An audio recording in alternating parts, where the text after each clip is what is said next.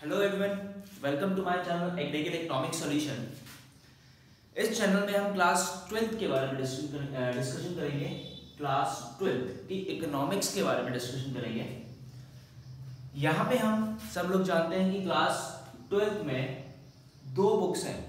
एक आपकी Indian economic development and second is macro economic development ये दोनों ही बुक्स आपको बोर्ड्स में 40 मार्क्स एंड 40 मार्क्स कवर करती है। एंड आपका 20 मार्क्स का प्रैक्टिकल बनता है। ये सब हम लोग जानते हैं। क्लास ट्वेल्थ में 40 Indian economic development 40 macro economics and 20 marks for practicals अब सबसे पहले जो हम बुक को स्टार्ट कर रहे हैं, वो स्टार्ट कर रहे हैं हम लोग मैक्रो इकोनॉमिक्स को।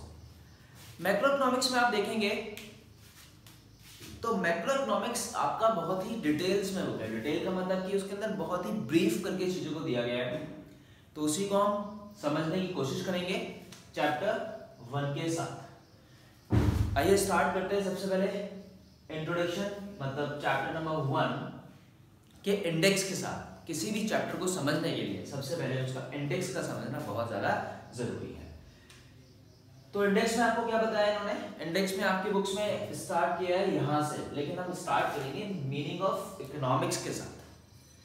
तो सबसे पहले आपको बताएँगे हम लोग मीनिंग ऑफ़ इकोनॉमिक्स मतलब इकोनॉमिक्स के बारे में। उसके बाद meaning and difference between macro economics and micro economics उसके बाद scope and significance of macro economics ये आपका chapter number one introduction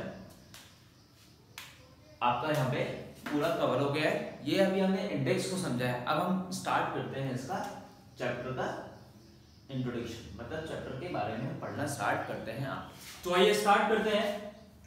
Chapter number one macroeconomics introduction जैसा कि हमने इंडेक्स में पढ़ा था कि सबसे पहले हम इकोनॉमिक्स के बारे में डिस्कशन करेंगे कि इकोनॉमिक्स जो वर्ड है वो आया कहाँ से तो चलिए आइए पढ़ते हैं।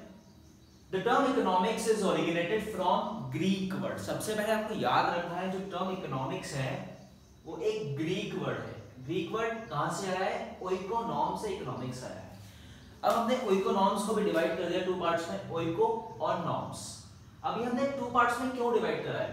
क्योंकि कभी कभी ये चीज़ हमसे एमसीक्यूज में पूछ लेता है जैसा कि हम सब जानते हैं कि ट्वेल्थ में बोर्ड्स में आपको एमसीक्यू भी देखने को मिलते हैं तो सबसे पहले ओइको और नॉर्म्स। ओइको का मतलब होता है हाउस और नॉर्म्स का मतलब होता है मैनेजमेंट। हाउस और मैनेजमेंट, अब यहाँ पे हाउस का क्या मतलब है? मैनेजमेंट तो समझ में आ रहा था कि चीज़ों को मैनेज करना। यहाँ पे जो हाउस है, वो है हमारा, जिस भी कंट्री में हम रहते हैं, उसकी बात करते हैं। सपोज़ हम इंडिया में रहते हैं तो हम इंडिया को क्या करेंगे? मैनेज करेंगे। इकोनॉमिक्स में हम पढ़ेंगे कि इंडिया को कैसे कैसे हम मैनेज कर रहे हैं। कैसे कैसे इकोनॉमिक एक्टिविटीज़ जो हमारे कंट्री में हो रही है like transportation communication banking insurance agriculture इन सब के इन सबको हम कैसे मैनेज करेंगे, वो सब हम डिस्कस करेंगे आगे इकोनॉमिक्स में।